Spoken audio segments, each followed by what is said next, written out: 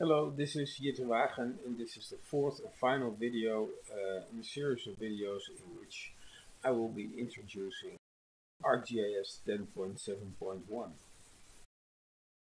And in this video I will treat a couple of subjects that have to do with uh, basically designing and reusing uh, elements of a map um, in, in form of layer styles and templates.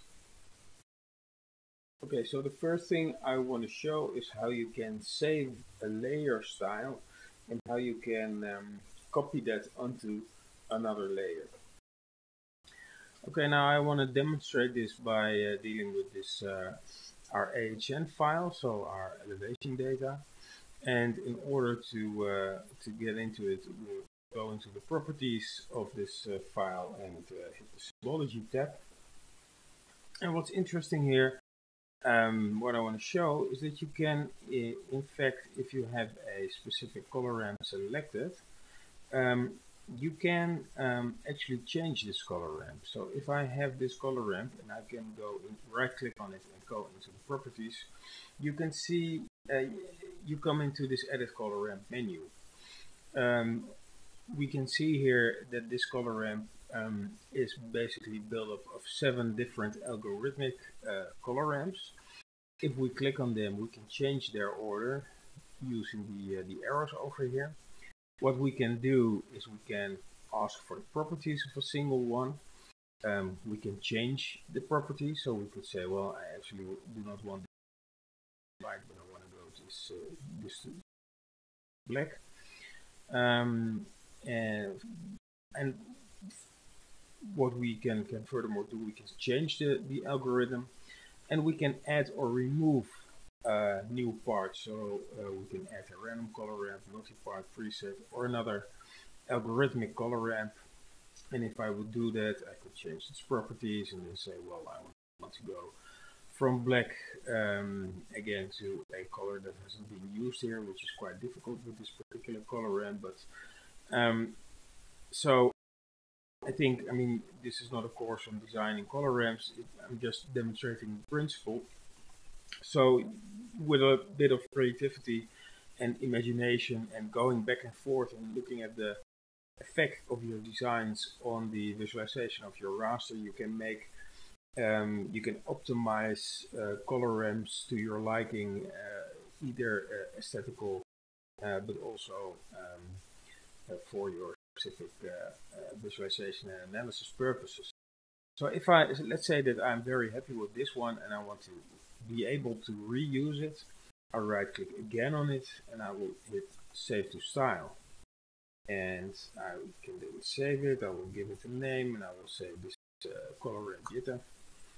And I will click OK. So now first of all it is applied now, so you can see this uh, this weird um, piece of the color ramp going from white to black to, uh, to pink. Uh, and what I basically did, I saved this color ramp into our styles. Now I will come back to the style manager in a moment. But the, the interesting thing is that we can now use this color ramp for other layers. Uh, and actually we can use now uh, this color ramp for any new project that we will start up because it will be based on this uh, on, on the style um, presets that we have. Now, in order to demonstrate this principle, we'll go to the uh, the larger map sheet, and I can click on properties of the larger AHN data sheet. I hit this selection, and I can go for my designed uh, color ramp. So I click OK, and I uh, and now I'm using it as well for uh, for the larger AHN sheet.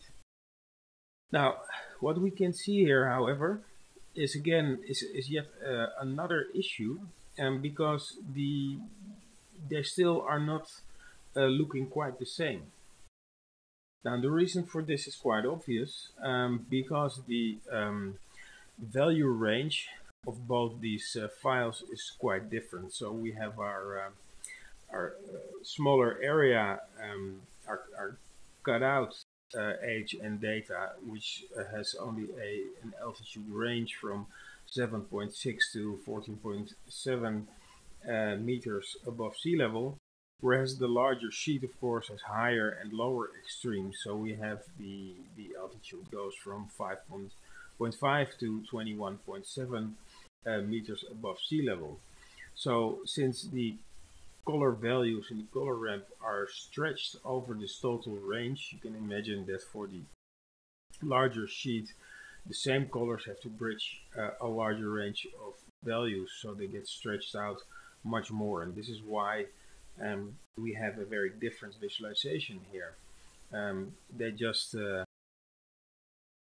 the uh, of course, the, uh, the cutout has much more detail um, through the different colors that are attributed because they have just uh, much much less variation to offer with uh, with much more um, colors.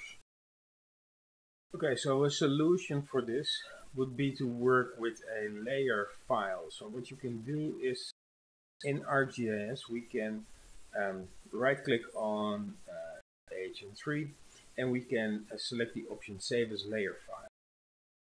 Now what does it do? Uh, I already made one so I would be overwriting in this case. What does this do? Um, the layer file actually stores all the uh, manipulations and uh, visualizations, uh, etc., that you apply to your uh, shape file in this case. Uh, I mean raster file in this case. Um, so it does not store the data itself; it only stores, in, in, this case, most important thing, of course, for example, the symbology of this of this layer. Now, in this sense, it is actually analogous to how a project file, the, the .mxd file extension of ArcGIS projects, saves uh, pointers to source files and, and collections and symbologies, etc., but not the data itself. Uh, this is um, actually the same thing, but then only referring to a single layer. Um, and this is very useful because you can save this, you can uh, reapply it um, and make sure that you that you are actually using the same symbology. So to, to demonstrate this, I will um, go into the, uh, the raster file again. Uh, what I will do now, I will set minimum maximum again. I will set 11 and 8, which we found to be quite optimal. Uh, we will say OK. Now we can see here the same um, possibilities to save and to uh, to open um, the, uh, the, the layer information. Um, let's save it as a layer file now. Yes. If we would now go into uh, AHN sheet for the whole area, we click on import. Now you can see here that we could also just have uh, selected the, uh, the, file directly because you get here in the symbology uh, import symbology menu you can get all the layers that you have currently in your project. But obvi obviously there are benefits to having separate layer styles uh, files uh, with styles uh, saved to your hard disk. Um, but to demonstrate the principle I will just open it add click OK and now you can see that color ramp is still here. It's actually been uh, copied, but because it was already set to the same, uh, we're not seeing that. And we now also have the, uh, stretch type and the, uh, values uh, edited. Um, and so if we uh, hit OK now, we can see that indeed we have the same data with the same classification, so the same colors attributed to the same altitude.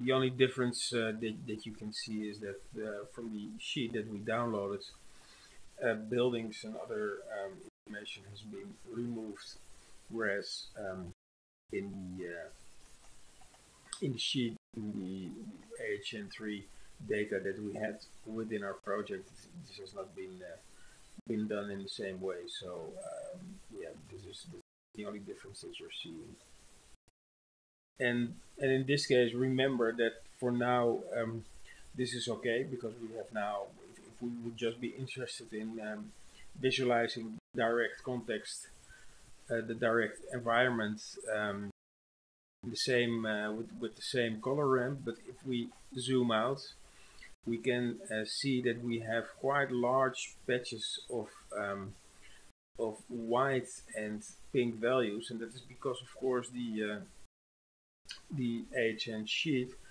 uh, is clipped on on both ends because all the values uh, higher than 11 meters above sea level are now falling into the category uh, with the uh, pink color, and on the lower end, everything below 8 meters.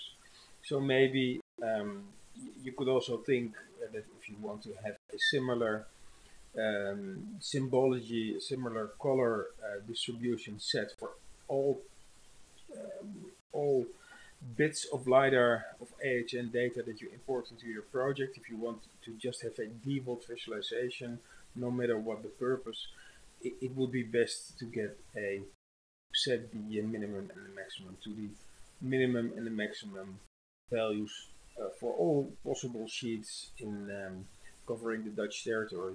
So you uh, you stretch it uh, the color ramp along the, uh, the the largest range of possible altitude values, and then you are sure to always have the same uh, visualization.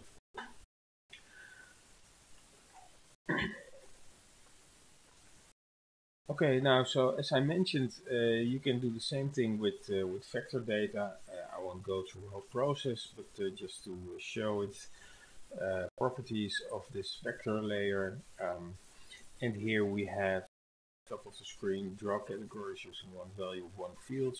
Categories unique value socialization.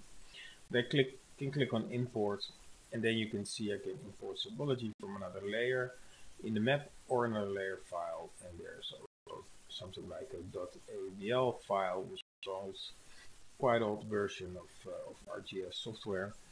Um, and the interesting thing here is also to note that you can either um, import just the symbols. You can also import just the classification or you can import the complete symbology. But if you would, would want the same set of colors, for example, but you want to, to, classify your data differently, uh, you can also do that uh, using this um, this import function. Now, and then as a final thing about uh, saving layer files, um, you may just want to uh, store the data, the, the layer file, but also include the data. So if you would, for example, uh, want to send your uh, layer, your, your shape file to a colleague and, and point something out that you that you made very clear by adjusting the symbology in a way that it, it comes out very uh, very well. Um, so you, you do not just want to send someone um, the, the shape file, and you can also not just send someone the layer file, you could of course send them both. But another way to go about this is to uh, create a layer package. And then you create a single file that contains both the data and the information that we store in the layer files, so the colors and the symbology, the classifications, and forth. So that's also um, an, an, interesting thing to know about how you can uh, work with the layers and the definitions when it comes to uh, well, the most important part, the visualization of the information. Okay, so then to finish off this um, this first part about um, designing uh, styles and to uh, save layer files and definitions um, and reuse them, etc. I just want to say a couple of things about the style manager because basically if we design something, whether it's a new symbol or it's a new color ramp or a new label style, um, these new uh, designs are automatically saved into the style, uh, the default style of ArcGIS, which is tied to us as a user. Now, how can you uh, get a, get an idea of what uh, what's going on in that uh, in that style? If we go to uh, function, the, the the menu option, customize, then to the style manager you can see here that we have the current style is actually indeed uh, ourselves working uh, at the moment uh, with within this style under our own name. And if we expand the style, we can see all the different items in, that have to do with um, the symbology of, uh, of our uh, layers and, and, layouts. We can see that they all have their own entries here and we see that we have here a yellow uh, folder with color ramps and that is because we actually created a color ramp and uh, we designed it, we gave it a name and this color ramp um, is not part of this uh, of our style so to say. So here we can um, copy it to other uh, styles, we can delete, we can rename etc etc or we can just directly redesign. And just uh, remember that everything that you add to your to your um, your, uh, your your map design or your your layer symbology is actually uh, visible here and it is sa saved into your personal style that will be uh, that will be used every time that you create a new map document. Um, now, what is interesting is that you can um, you can um, go and look for other styles. So if we click on uh, the styles uh, button, we can we have a whole set of default styles, and we could, for example, say, well, we want um, styles for um, conservation. And if we uh, click OK, then we see it's added here. Now it gives us a set of specific north arrows, a set of specific colors which already are uh, tied to a specific um, uh, legenda item, fill symbols, line symbols, marker symbols, and uh, this will become apparent that we added this style if we now go into, for example, this uh, this point um, layer. We go for properties, and we look at the symbols. Now we see that we have a whole range of conservation um, a whole range of symbols which are actually in this conservation style. Um, so yeah, th this is how you can uh, can um, turn them on and off. And as you can see, create new style um, or add style to list. What we actually can do is we can create a new style. Say, well, this is uh, I don't know um, for, uh, for for printed books, and I want another style for maps posters or what have you and I'm going to create a default set of symbols and colors and color ramps that I will use. This is how you can go about it. You can create a new style. You can, what you then make actually is a dot uh, style uh, file. So this file extension is actually dot style. And then, of course, if you created this, you can also send it to other people. You can copy it to another computer so you can use this style every time you uh, you, you work on a different location. And these styles, just for your information, are here uh, stored under your name, app data, roaming ESRI, desktop 10.7 ArcMap. And we have here uh, all the style files. So yes, um, I'll turn it off because it creates a whole lot of symbols that I will actually not use. So it's just uh, going to take up uh, space in my uh, my interfaces. Um, uh, but yeah, this is how you can uh, can go about working with styles. Now, with this, I have come to the end of this this part, and what I will now we'll go back to is where we left off in the first video with the map design. And now I want to expand on the concept of map design um, with the concept of uh, using, creating um, and reusing templates. Okay, in order to engage with this topic I will uh, return to the layout view that we have been uh, using before. Um, so we have this uh, the simple map design and I will uh, make this uh, a little bit more complicated to show what we can do with making a, a layout design.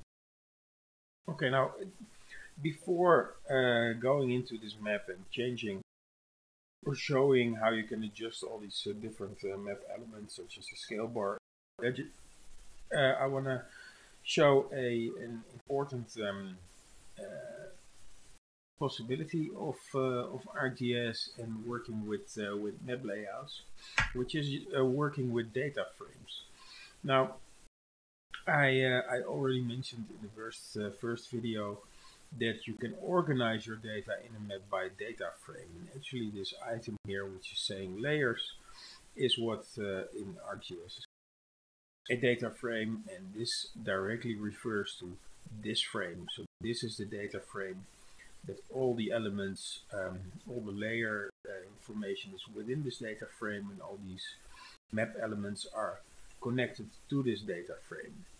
Now, and um, you may have seen this coming, but what's interesting is that we can add another data frame. Um, let's do that. And now we have a new data frame. And this data frame is actually also here. Change the name, of course. Um, well, let's uh, let's call it now inset, and I will explain uh, shortly uh, why we call it like this. Um, but this is now Eh, sorry. This is now a data frame. If you use want to do something with that data frame, make sure you have the right one selected. So you can now select these data frames. Maybe I will switch off the eh, AHN file to make it a bit more clear. And as you can see, now that I select this data frame, it's also bold in our layer of content, a table of contents, and I can double click here and set this to active. Um, this data frame, activate, and now this is my active data frame. So um, now, what, what can we do with this data frame? We can use it to organize data in our table of contents. If we would like to have the same data, uh, but completely different organized, but when it comes to um, our map layout, um, it's interesting because we can, for example, use different zoom levels.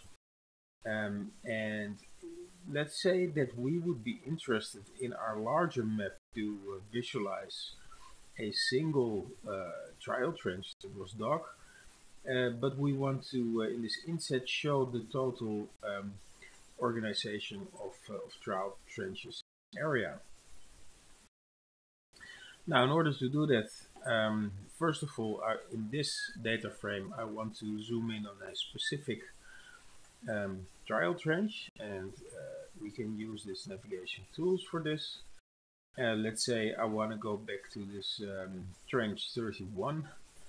Um, now uh, I need to remember which one it was, but let's go and uh, select in this. Uh, oh no, I have it here, of course. Let's go for that one. Just turn these off. Let's turn the uh, fines off. Now I have here my trench 31 is uh, not a really exciting um, trial trench, but um, it serves uh, the purpose. I will give it a, uh, a nice symbology, uh, which we can then use in our uh, legend. Uh, so I want to go for categories and well, me doing all these these things before.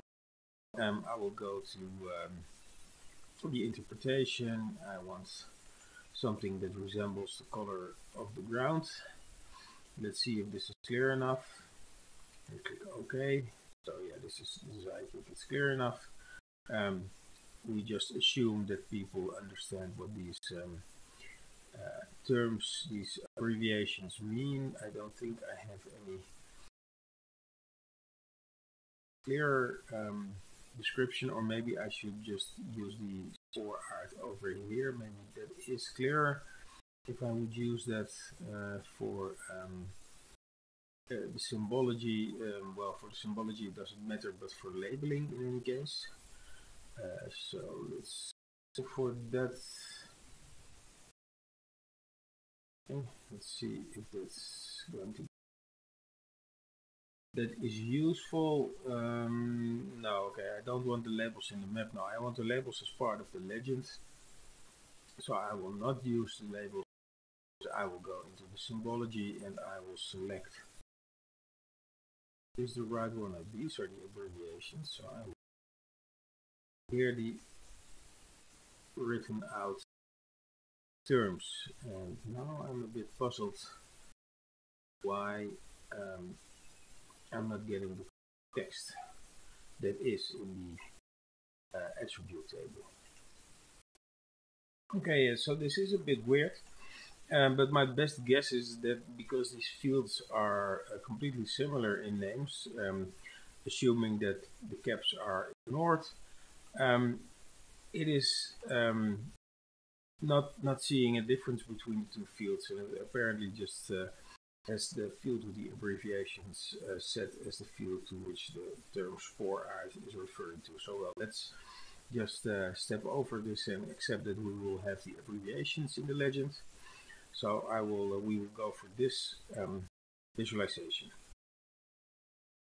Okay, so um, what do we want more? Um, maybe we want labels so we can have the uh, numbers of our um, features visualized. So I will go back, label in the same way, and then set this to number.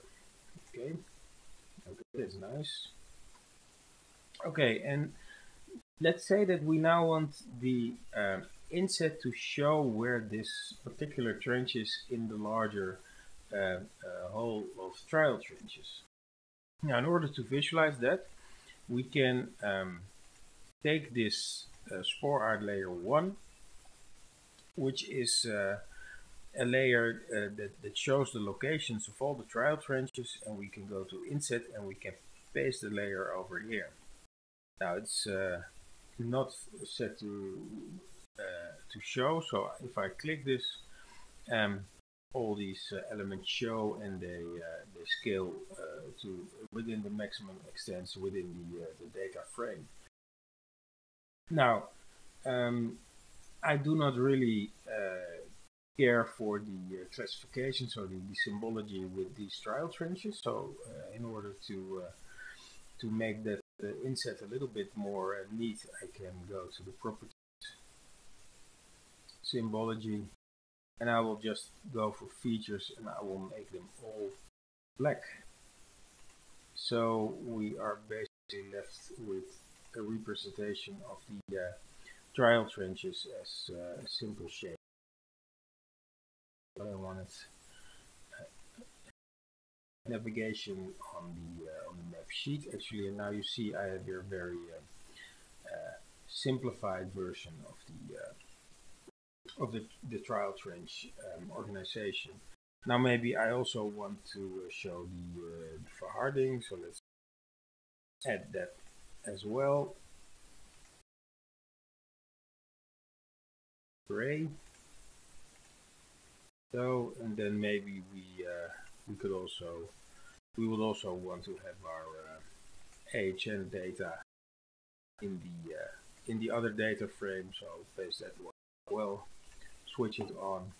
But still, I want a, uh, a modest inset just to give an overview and not give any other data than just the, the, overview of our data. So this could be, for example, the uh, the design for uh, for the inset.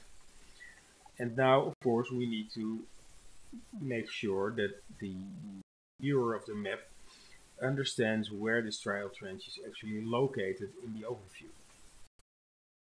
Now, in order to uh, to show that, there's this um, this property of a data frame in in which you can show the extent of another data frame. So if I uh, go for um, the properties of the inset data frame, I have here the uh, the extent indicator tab.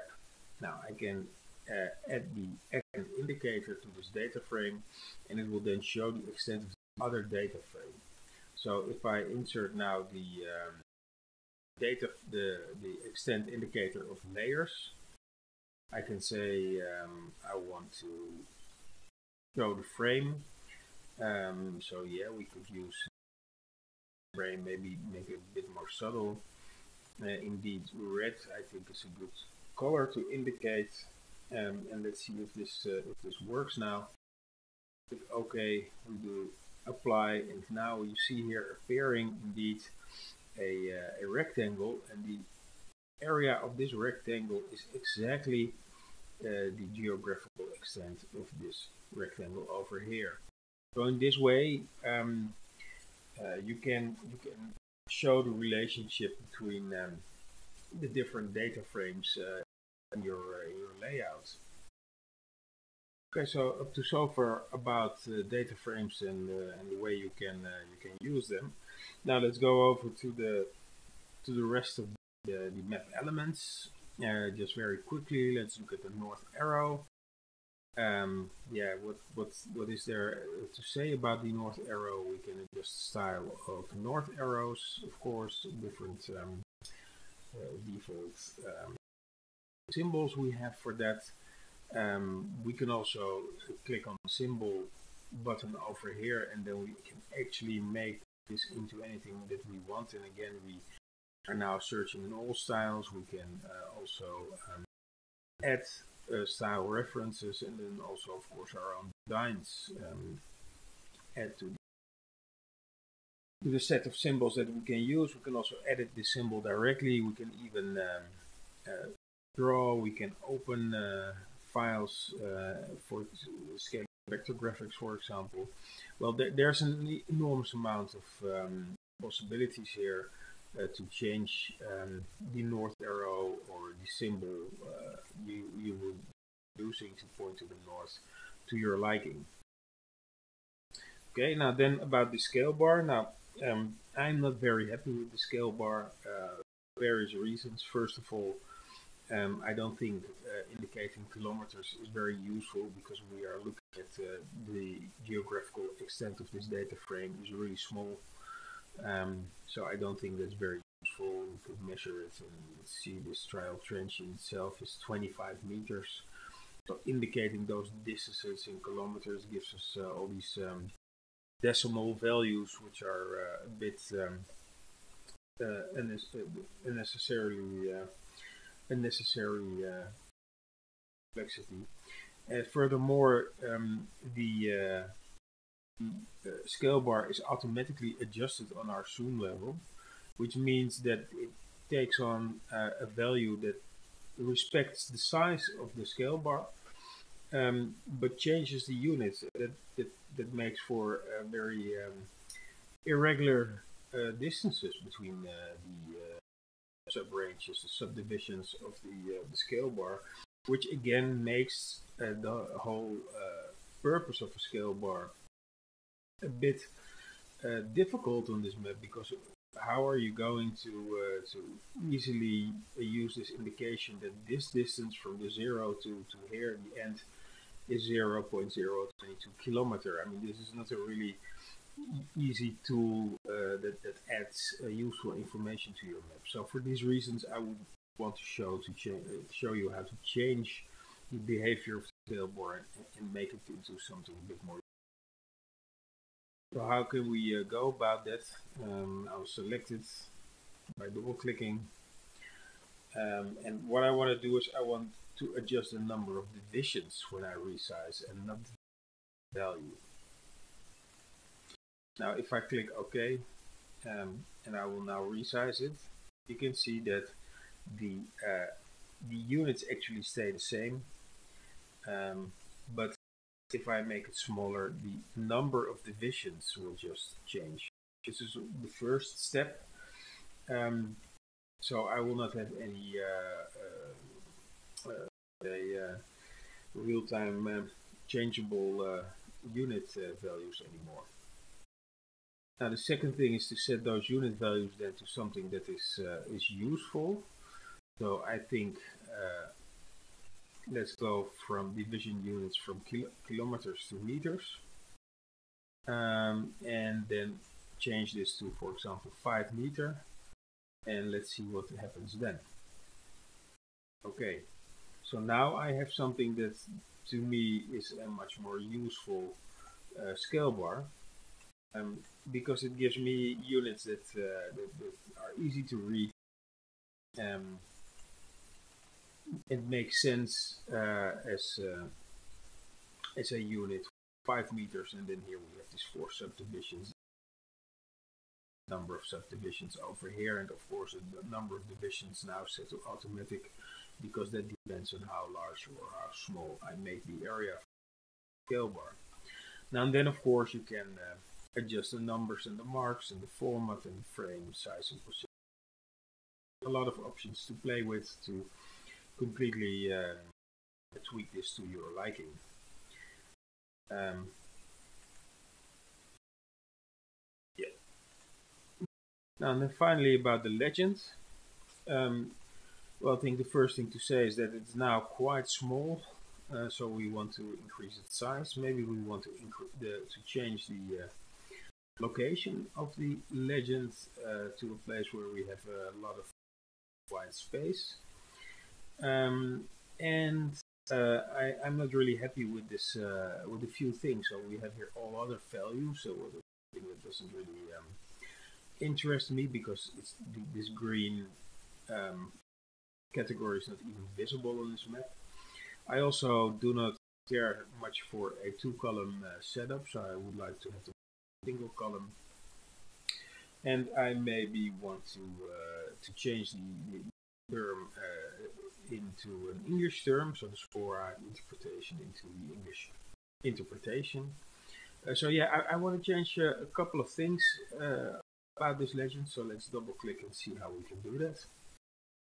Um, so general, we have title, we have all the items which are in our legend. We have um, the items over here and I can uh, apply settings to the selected items and then I have uh, layout, frame, size and position. Okay, so on the things I want to change uh, here are in the items tab. So I want to go back to a single column setup and if I uh, I have to select the correct um, item here in the uh, in, in, this list of possible items for the legend of course. I will go back to column count to one. And I want to uh, select a different style uh, maybe. Um, and I could just go for layer name and description. So you can see that here you have all kinds of different styles where you have different um, let's say a configuration of layer names headings labels and how they are placed uh, alongside each other. So let's see if I select this, how this plays out for my legend. Okay, apparently I selected a, uh, a layout now. Uh, we do not have the column name anymore, but we now have the layer name as a, a heading over here. That is not really useful, and we have no more labels. So um, I selected a style which actually not really useful so let's see uh, if I get this one. What it gives me is that this is supposed just color and a, a label. So indeed so now this is legend and I have here all other values. Now what I could do then in turn is to change the term legend which everybody understands it's a legend to something that I uh, want to uh, point out about the colors and the labels and that is that they represent the interpretation. So let's go for that and click OK. And now I have uh, in the interpretation single column. The only thing I want to get rid of is this all other values uh, entry. And the easiest way to go about this is to go uh, again into the uh, properties of the legend and then we have here the, the map extent options. What we can set here is only show classes that are visible in the current map extent. Well, that's very convenient um, because uh, this all other values actually is not uh, visible in this map extent. So if I hit that tick box and click OK, I have to do it for the right layer, of course then you see that the uh, the all other values entry uh, uh, disappears.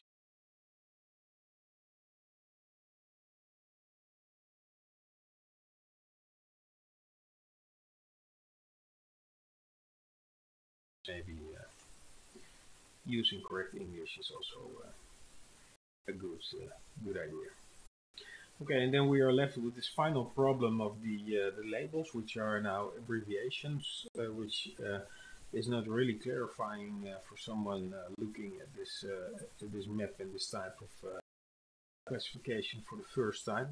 So let's see if we can solve this. And the most straightforward way to solve this is to actually go into the layer itself in the table of contents, go to the properties, and as you may remember from our classification is that we have here the value and then the colors of the unique value.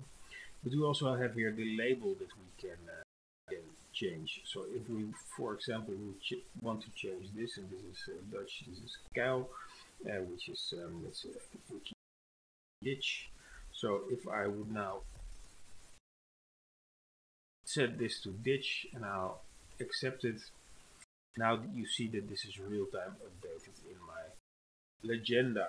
So, um, and this again shows that um, everything that you do in this map, although you're you're you're uh, working on graphical and the aesthetical part of uh, um, making a uh, useful and informative map, the elements are always directly drawing their information from your GIS, um, which is strength because it will directly update in case you change. Okay, now finally to uh, to finish this map, I also want to uh, insert two more things. Uh, one of it is very simple. I just want to have a uh, a title for my uh, map, and I want this to uh, be Trench 31. Okay, so there it is. Now it's quite a modest title, so we are going to uh, to change it a bit. So let's make it another symbol. Now we can go here for preset um, uh, styles. So let's go this one and make it a little bit bigger. Let's go for a bold version of that. And that's rather okay. And maybe uh, of course you can change here font types and um, you can uh, again edit the symbols and uh, do a whole bunch of uh, stuff with it. You can change the station of it etc etc but for now um, I'm quite happy with this uh, this title. And now I want to add one more piece of information because uh, what's often also uh, besides the scale bar can be very useful or in addition to scale bar is to actually uh, show the, the grid uh, of your data frame. So you can uh, have this set of uh, picks on the outside of your, uh, your frame that show um, uh, the coordinates, for example, of, of the frame. So let's see how we can do this for in ArcGIS. And this is then again a function of the data frame. So if we double click on the data frame, well, let's go properties. Uh, what we then have here is the uh, grids. Now, this is uh, what in ArcGIS is called a reference grid. It's drawn on top of the data frame in layout view only. So indeed, this is not happening in your map uh, view, but only in our layout view. Now, what we what can we we now use, we have three options. So we can go for the graticule, which is um, a division uh, of your map by meridians parallels. Well, that is interesting if you are working large scale, but not really in our map. And then we have two options, a measured grid, in which your uh, grid lines indicate uh, coordinates of your coordinate reference system or you can create a reference grid. That is more useful because then, for example, you will have sheet uh, your map devised, uh, divided in sheets, and then you have um, a simple reference system. So you could point out, for example, in a text in sheet uh, 2D, you can see this or that uh, particular feature. But what we want to do now is we want to create a measured grid. Okay. Now, what do we want? Do we want a grid uh, covering our whole map? I find it always quite distracting, so I, I'd rather have um, a tick marks and labels. Now you can also go for labels only, but I think uh, for our map tick marks, uh, tick marks and labels are, are fine. Um, next, uh, default, and we now define this uh, this grid, and let's hit apply. Now, if we accept this, we can see we have our markers here. We have a coordinates, and these coordinates are already uh, neatly oriented, so uh, they are not horizontally next to your and sticking out of the page, so to say.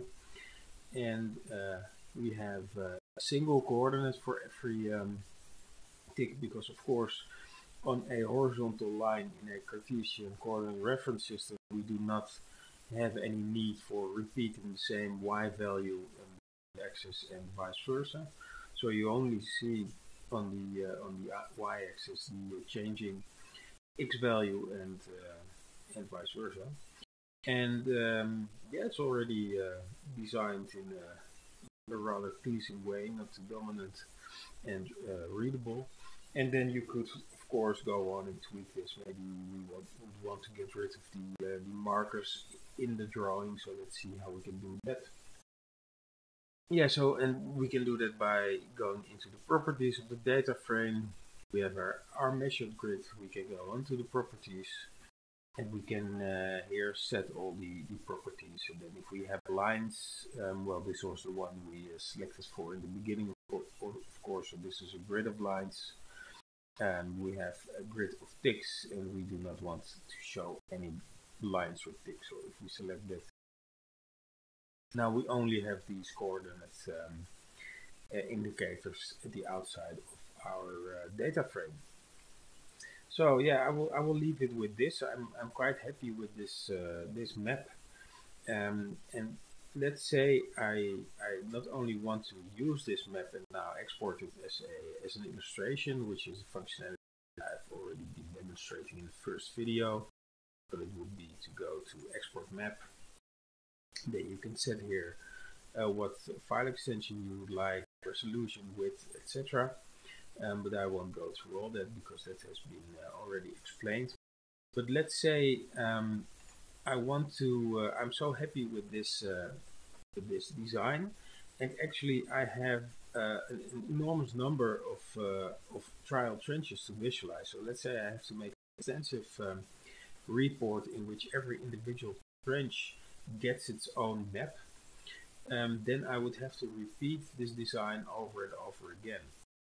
Now, of course, a way to do that is to stay within this um, this map and just uh, navigate in this way to other uh, well I'm uh,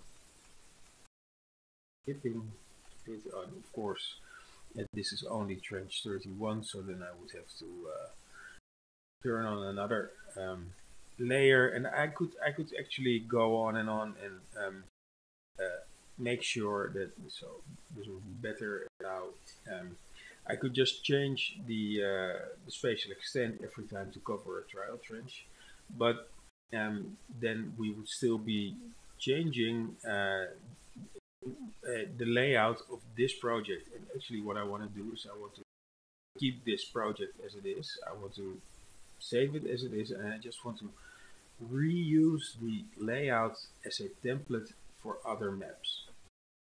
Okay so in order to show how we can uh, create a template out of this map uh, I reset it to the original content uh, and, um, and data and the simple process of creating a template in uh, ArcGIS is as follows. So we select Save As as an option, and then we go to the uh, folder in which the templates are actually uh, stored. Uh, and for that we have to select our uh, username, we go to application data, we go to roaming, ESRI desktop 10.7, ArcMap. Now we were here already earlier when we were storing these dot .style files. Um, we were not seeing them because we only uh, see uh, files. So template. You can see that we have already here a, uh, a template, and I want to uh, create another one. So let's say this is the trench map template. And I click um, save. And now in fact we created a template. And we can show this by now clicking on a new file. Um, and what we have here is we can start a blank map. We can start with a template um, with this template based on the uh, visualization uh, the layout that we had before and now we have this uh, this trench map now it is of course useful to have a thumbnail instead of just a name uh, so you have a little bit of extra visual reminder of uh, about. Now I'll show you how you can get this uh, this thumbnail. For then we have to go into File, Map Document Properties, and here you can see this uh, this button over here, the thumbnail. So if we do that, we click OK, and now we repeat the process. So we save as and right location of course and now we hit save we overwrite and we would now start a new map we can see that we have this uh, trench map template ready for us to uh, to go and work with now um, what we can also do is we can um, change the template uh, so the layout uh, as we uh, as we are working. And I will show you how to do that. And we can do this by going to the uh, layout toolbar.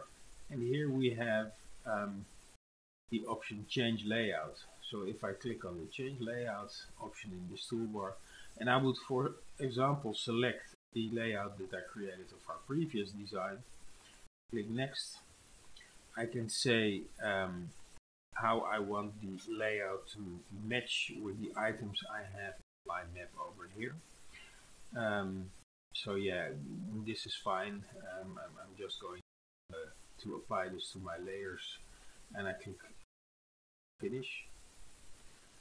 Um, now nothing much happened here because uh, uh, we didn't really, uh, we, we had other data data frames so now everything is applied to the data I have here.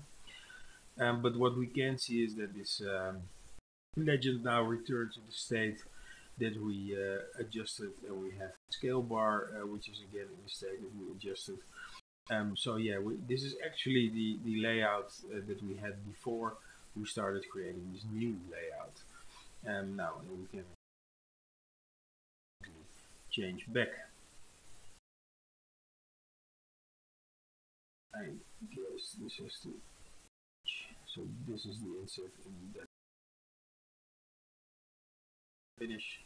And now we select it for the other uh, template and now we have our map back. So yeah it's clear that once you created these templates you can uh, always um, well just uh, invoke them uh, when you are working or you can start working from them and because we know where where they are saved they are just mxd files which will work as a template as long as they are stored on that location on your computer uh, you can also send these uh, these designs to someone else and he will or she will have available. You can store them on a central location company or, uh, or university and you can use these uh, these templates in this way.